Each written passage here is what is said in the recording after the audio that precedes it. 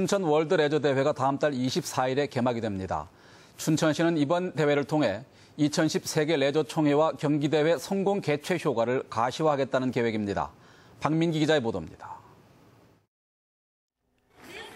2012 춘천 월드 레저 대회 개막이 한 달 앞으로 다가왔습니다.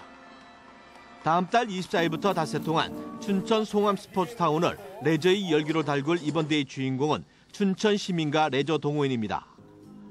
지난 2010년 열린 레저 총회와 경기대회가 관람과 전시 위주였다면 이번 대회는 참여와 체험을 통해 레저를 확산하는 레저 원년이 될 전망입니다.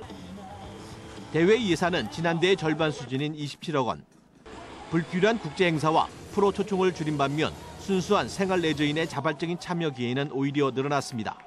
생활체육인들의 축제 형태로 이제 컨셉을 잡았고요.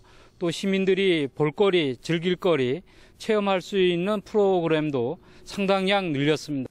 인라인 슬라롬과 수상스키, 웨이크보드 등 인기몰이하는 일부 국제대회는 올해도 이어집니다. 특히 풋살과 족구 궁도 등 일반 생활체육 종목을 포함해 67개 종목이 닷새 동안 잇따라 열려 지역경제 파급 효과가 최대 150억 원에 달할 것으로 기대하고 있습니다. 하지만 형사 고발까지 이어진 일부 생활체육 단체와의 불협화음은 남은 기간 해결해야 할 과제입니다. 금년도 대회 참여는 16개 경기단체 대회 전화 및 방문 등을 통해 대회에 적극적으로 참여할 수 있도록 노력해오고 있습니다. 지난 2년 전 세계 레저 총회와 경기 대회를 성공적으로 치러 세계적인 레저 도시로 자리매김한 춘천시가 성공 신화를 이어갈지 관심이 모아지고 있습니다. MBC 뉴스 박민기입니다.